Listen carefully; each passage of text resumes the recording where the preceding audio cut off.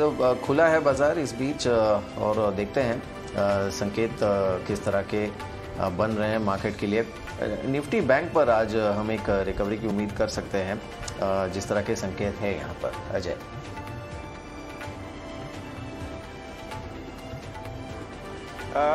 मिहिर, मैं आपका ध्यान एक और ब्लॉक डील्स जो हो रही हैं, उस पर भी ले जाना चाहूँगा।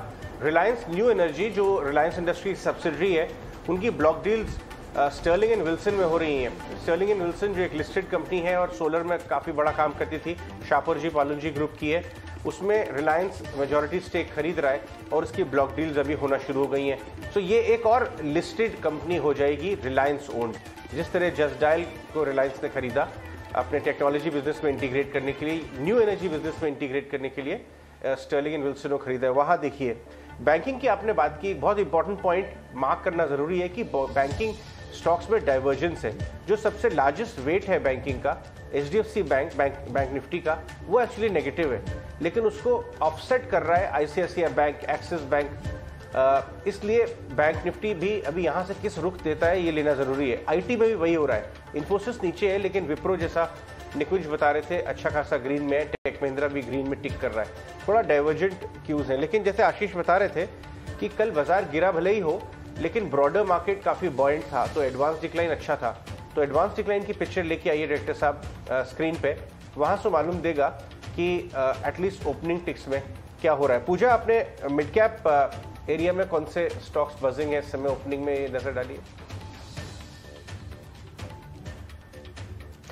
जी मिड कैप स्पेस में अगर नज़र डालें तो इस वक्त जो टॉप गेनर्स दिखाई दे रहे हैं, वो अदानी पावर दिख रहे हैं, ढाई परसेंट ऊपर है। एसआरएफ में करीब दो परसेंट की मजबूती इस वक्त देखने को मिल रही है।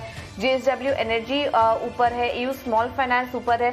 जो रुझान इस वक्त स्टार्टिंग में दिखाई दे रहा है, वो इंफ्रा पावर स्पेस में ज़्यादा दिखाई दे रहा है। टाटा पावर भी करीब डेढ़ परसेंट ऊपर खुल रहा है।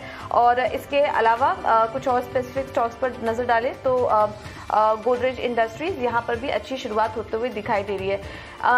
कमज़ोर साइड पर ज़्यादा कुछ एक्शन नहीं है। काफ़ी सारे स्टॉक्स हैं जो फ्लैटिश ही कारोबार कर रहे हैं। अगर एफनो स्पेस पर नज़र डालें तो यहाँ पर भी टाइटन में देखिए क्वार्टरली अपडेट्स काफ़ी शानदार आए थे और ढाई परसेंट ऊपर ये स्टॉक है। इसके अलावा एचपीसीएल में मजबूती है S R F Havells small finance bank में काफ़ी अच्छा रुझान इस वक्त देखने को मिल रहा है।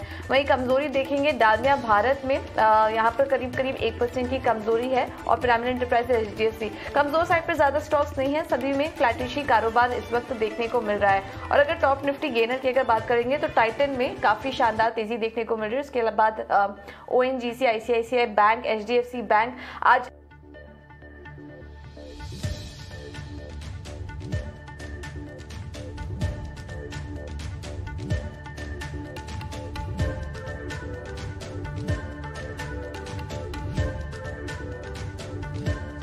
ये भी देख लेते हैं कि ओवरऑल जो संकेत हैं मार्केट के लिए उसमें